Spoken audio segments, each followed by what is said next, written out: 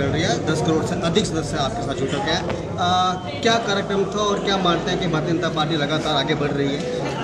ऐसा है, देखिए, भारतीय जनता पार्टी की प्राइमरी मेंबरशिप का ये जो सदस्यता अभियान है, ये प्रारंभ हो चुका है।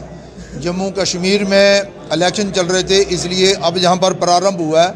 आज आप देख रहे हैं कि हम जिला रियासी में हैं और हमारे ज़िला के यहाँ के जो दोनों विधायक हैं, विशेष तौर पर रियासी से कुलदीप राव दुबे जी और हमारे कटरा वैष्णो देवी से बलदेव राज साहब और हमारे जो जिला प्रधान हैं, रोहित दुबे साहब, और इनकी जितनी भी टीम है, सारी आज इस सदस्यता अभियान को लेकर जो वर्ग था उसमें उपस्थित थी। तैयारियाँ कैसी हों, कैसे सदस्यों को ज़्यादा से ज़्यादा पार्टी में लाया जाए, और फिर, जिला लेवल का वर्ग, फिर मंडल लेवल का वर्ग, फिर शक्ति केंद्र का वर्ग तो ये एक हमारा वर्ग था कि भाई पार्टी के साथ ज़्यादा से ज़्यादा लोग जुड़ें और ज़्यादा से ज़्यादा सदस्यता हो।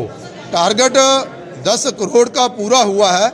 हम चाहते हैं कि भारतीय जनता पार्टी जम्मू कश्मीर में भी अच्छा प्रदर्शन करे और ज़्यादा से ज़्यादा सदस्य बनाए। सर 2000 ऐसे है कि राज्य बहाली की जहाँ तक बात है हमारे देश के प्रधानमंत्री नरेंद्र मोदी जी और अमित शाह जी पहले से ही कह चुके हैं कि सही समय आने पर जम्मू कश्मीर को प्रदेश का दर्जा जो है वो दिया जाएगा।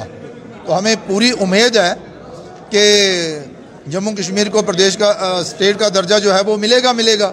लेकिन इसके साथ साथ ही मैं ये भी कहना चाहता हूँ कि ये जो आपने प्रश्न उठाया सरकार को सपोर्ट करने का हमारे दोनों विधायक जहाँ हैं मैं इतना ही कहना चाहता हूँ कि जम्मू कश्मीर की बेहतरी और जम्मू कश्मीर के विकास के लिए भारतीय जनता पार्टी का सरकार को पूरा समर्थन रहेगा।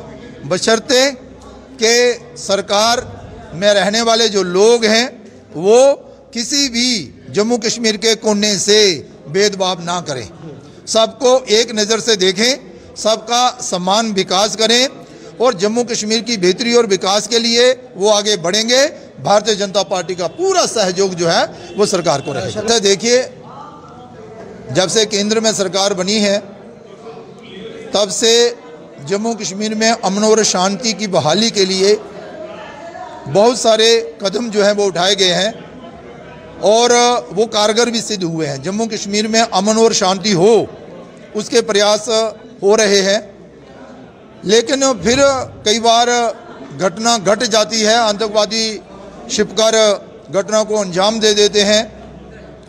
मैं इतना ही कहूँगा कि भाई, जो लोग भी इन घटनाओं में सम्मिलित हैं उनको ढूंढकर मौत के घाट उतारना चाहिए और विशेष तौर पर पाकिस्तान जो नहीं चाहता कि जम्मू कश्मीर में चुनाव हों और जम्मू कश्मीर में चुनाव हुए और शांति के साथ संपन्न हुए, जम्मू कश्मीर में अमन और शांति भी बढ़ रही है। इसीलिए उन्होंने इन घटनाओं को अंजाम दिया है। लेकिन मैं इतना ज़रूर कहना चाहता हूँ कि जम्मू कश्मीर की बेहतरी विकास, अमन और शांति के लिए सरकार कोई भी कदम उठाने के लिए तैयार रहेगी।